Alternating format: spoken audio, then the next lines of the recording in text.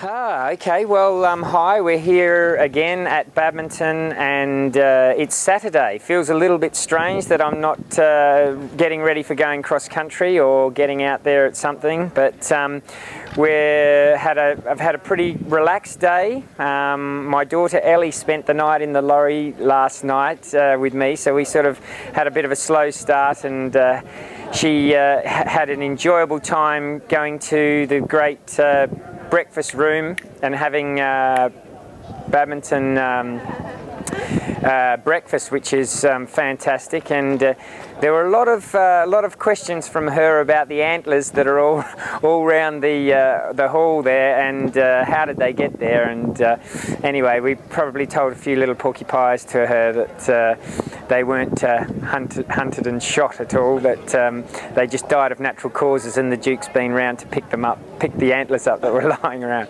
But anyway, we had a great breakfast, and we've had a good. Um, a good day today. I've uh, spent a bit of time on some of the sponsors' stands and looked at uh, a lot of dressage today as well. Um, whizzed around the course this morning and just uh, made sure I know where I'm going and uh, I still have uh, am a little undecided. Uh, straight after this, I'm actually going to go out and have another another walk around. Um, and uh, yeah, no, we're enjoying today. It's been uh, relaxing. I'm still over the moon with the frog, and uh, thank you to everyone who's been watching this uh, video um, diary and all the um, fantastic messages that I've been getting, text messages, and hello to all the family that's back in Australia watching, and uh, um, all those uh, friends of, uh, of Team Fredericks. It's been it's been really good. So um, we're looking forward to tomorrow. Hopefully, I will not let the frog down, and uh, all, all you guys that are watching and supporting. Um, just looking forward now to getting out there.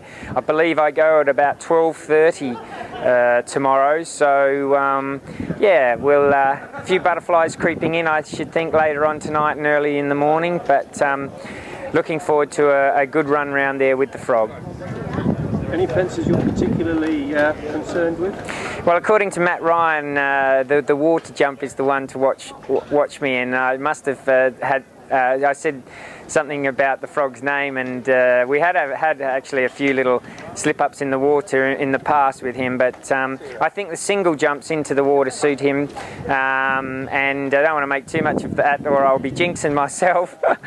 but uh, no, he's uh, he's a pretty good jumper. I've given him a jump today that's filled me full of confidence. He jumped really well this morning, so looking really looking forward to going out there and, and uh, having a bash around and um, yeah I'll be uh, certainly working hard. I, I, should imagine. No nothing comes to you for nothing at a four star so um, hopefully he's right up for it. And there you go the uh, presenter's nightmare the mobile phone.